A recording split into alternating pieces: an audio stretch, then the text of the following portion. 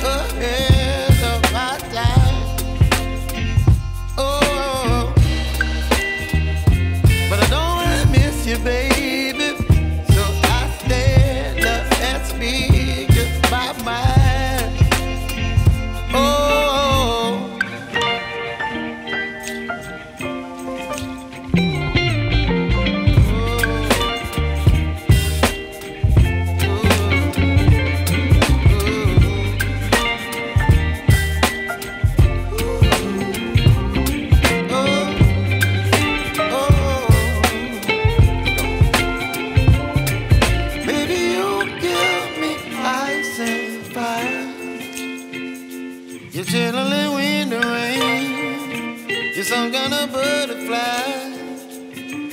Baby, you give me midnight. You whip up my appetite.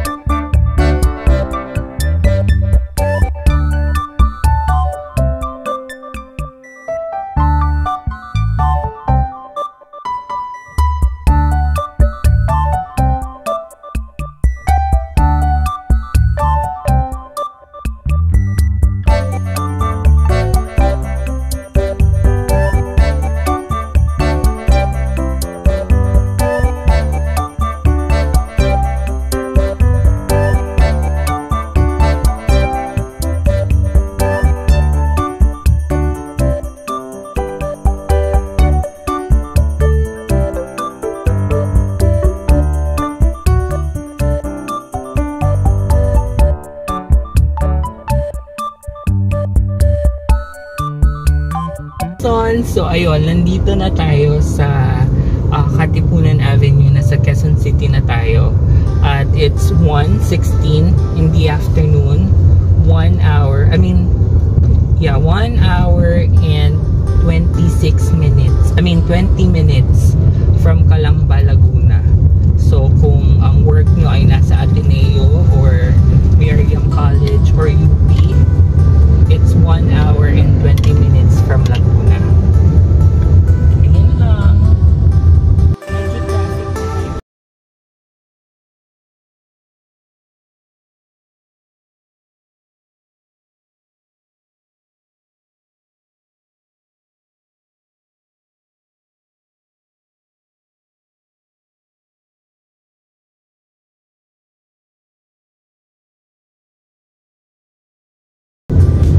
Hello! Welcome back mga ka-person. So, as of the moment, nandito na tayo sa May Diliman Preparatory School. Uh, one hour and 33 minutes from Calamba,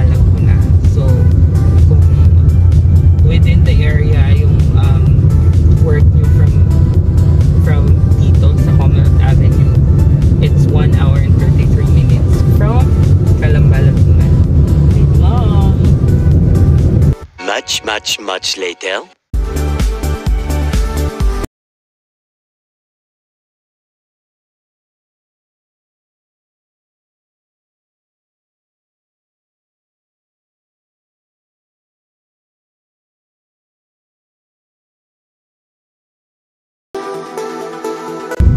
Hello mga ka-person! So, nandito na tayo sa Rodriguez Rizal. Um, sakto 1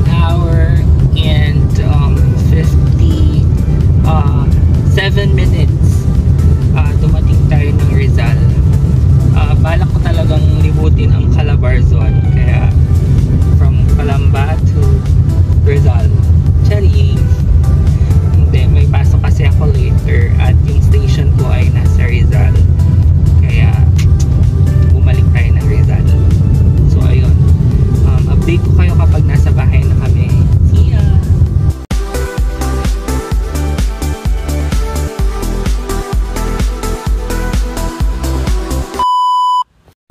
Hello mga ka-person! Um, nas nasa Rizal na ako. Nasa bahay na ako sa Rizal.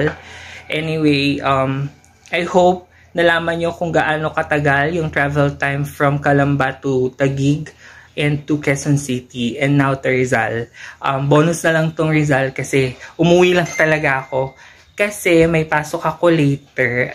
Nakalive lang kasi ako last night. So may pasok ako at nandito pa yung aking workstation sa Rizal. Hindi ko pa siya na uh, transfer sa Laguna kasi hindi pa naman ako totally nagmo-move in. Pero if I do, um, isasama ko rin kayo sa journey na yon. So, in the meantime, ayun muna mga ka-person. Thank you sa pagsama sa akin uh, for today's vlog. And ayun lang, don't forget to share and to comment and to like this video and uh, subscribe nyo na rin ako and don't forget to click the notification bell for more updates. Bye!